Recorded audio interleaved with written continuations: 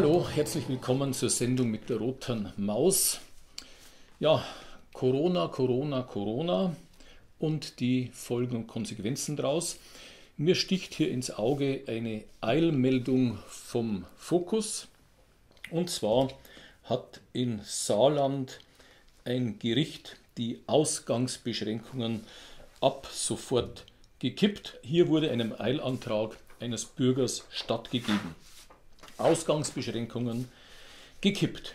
Ja, man wundert sich natürlich schon, wenn man beobachtet, was hier in der Presse so los ist, denn nachdem es nun ja weniger Todesfälle gab als in der letzten Grippesaison, wird uns schon dauernd eine zweite Grippewelle, eine zweite, nicht nur, nein, nein, nicht nur Grippewelle, eine Corona-Covid-19-Welle um die Ohren geschlagen, die irgendwann kommen soll. Ja, es ist wohl so, es wird aufgebauscht in der Presse und von der Politik, weil man Angst davor hat, einen Strich unter die ganze Sache ziehen zu müssen, einen Kassensturz machen zu müssen und dabei erkennen zu müssen, was eigentlich passiert ist und vor allen Dingen sich dafür auch rechtfertigen zu müssen. Die Wirtschaft ist komplett abgestürzt. Wir haben über 10 Millionen Menschen in Kurzarbeit. Ich habe mir ein paar Notizen gemacht. Im Einzelhandel drohen 50.000 Insolvenzen. Es wird ganz sicher nach dem Abschalten des Abschaltens nicht so weitergehen wie vorher. Wir, es werden viele auf der Strecke bleiben, viele werden ihre Arbeitsplätze verlieren. Wenn man schaut, was in den Baumärkten los ist, die ja nun äh, teilweise wieder betrieben werden können, das ist vollkommen irr. Alle laufen mit Masken rein, man atmet seinen eigenen Mist stundenlang ein und das Ganze, was man hier einatmet, suhlt sich noch in einer feuchten Textilkloake, die zu nichts anderem führt, als dass man hier einer, einem wunderbaren Nest für Bakterien Vorschub leistet und man das selber ununterbrochen über Stunden einatmet. Im Übrigen war ich ja mit dem Auto unterwegs und da kamen mir Fahrradfahrer entgegen. Fahrradfahrer, leicht rot-bläuliche Gesichtsfarbe, ziemlich heftig bergauf strampelnd und bei genauerer Betrachtung stellte ich fest, die tragen auch Gesichtsmasken. Tja. Also da kannst du niemandem mehr helfen. Die Infektionsgefahr bei leichter Brise im Wind zwei Radfahrer im Abstand von 40 Meter und ansonsten ein paar Autos auf der Straße ist natürlich so enorm, dass man sich die Maske drauf kleben muss und irgendwie dafür sorgen muss, dass einem aus einem anderen Grund vom äh, Radl haut. Ähm, vielleicht steigert es ja einen Trainingseffekt, weil die Lunge irgendwie mehr leisten muss in so einem Fall. Naja, also wenn man sich sowas anschaut, dann muss man sich wundern. Ich war dann sehr froh, als ich wenige Minuten später eine Weide passierte mit dem Auto, denn auf dieser Weide befanden sich Milchkühe. Und die schauten mich vollkommen entspannt und normal an und bei genauerer Betrachtung stellte ich fest, kein Wunder, die tragen keine Masken. Also die Kühe zumindest scheinen noch normal zu sein, wogegen man sich bei den Menschen hier nicht mehr sicher sein kann. Also wir haben einen riesen Shutdown, jetzt ist die Maskenpflicht. Ja, viele Näher und Schneider werden sich da sehr darüber freuen. Ich frage mich, wie es mit den Masken sein wird bei 30 Grad Celsius plus. Na gut, jedenfalls äh, diese, dieser Schlussstrich, der wird verzögert, deshalb jammert man uns was vor von einer Gefährdung mit einer zweiten Welle, die dann auch nicht kommen wird und wenn es im Winter und im Herbst wieder ein bisschen losgeht mit Erkältungen und Grippen, ja, dann werden sie uns wieder von Covid-19 was erzählen und wir werden sehen, dass es auch nichts anderes war als bisher.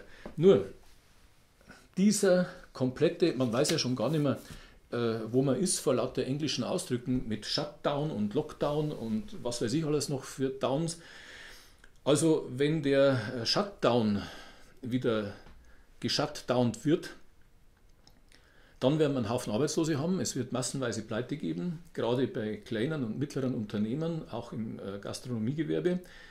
Und man fragt sich dann, wer hat denn diesen riesen Schaden, der nun selbst nach äh, Mainstream-Medien pro Woche, glaube ich, 15 Milliarden kosten soll, der Hilfsprogramme in einer Größenordnung innerhalb der EU von 3 Billionen auslösen soll. Wer hat das eigentlich verursacht? Wird man die Frage stellen, wer der Verursacher all dieser Probleme und dieses Riesenschadens ist? Und ich rede ja nicht nur von Geld. Denn mit diesen Maßnahmen wurde nicht nur der Wirtschaft massiver Schaden zugefügt und Arbeitnehmern in finanzieller und wirtschaftlicher Hinsicht, sondern es wurden auch gesundheitliche Schäden verursacht. Und die werden jetzt weiter verursacht, auch mit dieser Maskenpflicht. Die wurden aber auch verursacht durch die Kontaktsperren die ja interessanterweise in Österreich jetzt ganz zügig aufgehoben werden, nachdem da ein bisschen was äh, bekannt geworden ist, was der Kanzler Kurz so vorher von sich gegeben hatte, als er glaubte, ungehört zu sein. Gesundheitliche Schäden bei älteren Menschen, Angst, Stress, alles, was hier ausgelöst wurde. Irgendwann wird man hier Bilanz ziehen müssen und dann stellt sich die Frage, wer hat es verursacht und man hat sich ja in der letzten Zeit viel mit Psychiatrie und psychologischen Problemen beschäftigen müssen, zum Teil, denn wir haben ja erfahren, dass eine Rechtsanwältin in der Psychiatrie eingeliefert worden ist. Wir haben auch erfahren, ich habe darüber gar nicht berichtet, aber vielleicht haben es manche mitbekommen, dass ein Arzt in der Schweiz in der Psychiatrie eingeliefert worden ist. Es gab ja auch Veröffentlichungen von sogenannten Experten. Wenn man Experte hört, dann muss man sowieso schon weglaufen, die sich dahingehend geäußert haben, dass man diese Corona-Leugner wohl doch in der Psychiatrie bringen muss. Übrigens erinnert mich das sehr an die Klimaleugner, da hat man es auch schon gemacht. Es ist schon äh, sonderbar bei uns, was hier alles akzeptiert wird, auch mit dieser Maskenpflicht. Aber nun ja, wenn in einem Land die Eltern ihre Kinder für höhere Steuern hüpfen lassen, braucht man sich wohl hier über so etwas auch nicht mehr zu wundern. Wobei natürlich die CO2-Steuer mit Maske niedriger werden müsste, weil ich ja, weil ja weniger aus der Maske raus in die Umwelt abgegeben wird und ich ja immer wieder das eigene CO2 mit einschnaufe. Also vielleicht wird sich zumindest steuerlich positiv auswirken, diese Maske. Nun ja, man hat sich also mit Psychiatrie und Psychiatern und Psychologen immer wieder mal beschäftigen müssen, weil einem hier eben auch alles Mögliche serviert worden ist. Und was ich da nun so verstanden habe aus diesen letzten Veröffentlichungen und Berichten und auch allen möglichen Quatschshows, die hier so geliefert werden, dass man dann über die Einlieferung in der Psychiatrie oder in eine solche, in ein solches Krankenhaus nachdenken muss, wenn jemand entweder sich selbst gefährdet oder andere gefährdet. Nun, diejenigen, die zuständig sind, die verantwortlich sind für diesen Shutdown, Lockdown, was auch immer, die messbare Konsequenz daraus ist ja Schäden an anderen Menschen, mittel- und langfristig vielleicht sogar an sich selber. Also diejenigen, die das ausgelöst haben, sollten vielleicht mal untersucht werden. Und da stehen ja ganz vorne dran die Virologen, also es gibt ja anscheinend nur einen Virologen, ich betone Virologen, wie diesen Professor Dr. Drosten von der Charité, der ja, wie ich in einem der letzten Videos schilderte, massiv von Bill Gates, dem Impffanatiker, mitfinanziert wird.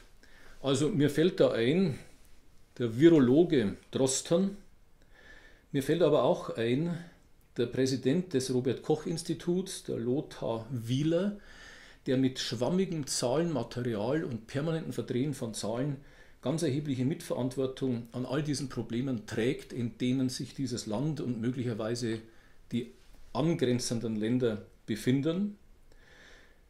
Es gibt beim Robert Koch Institut auch einen Vizepräsidenten, den Lars Schade, auch da sollte man mal genau hinschauen und natürlich der Gesundheitsminister Spahn sowie sämtliche Ministerpräsidenten der Bundesländer bis natürlich hinauf ins Bundeskanzleramt.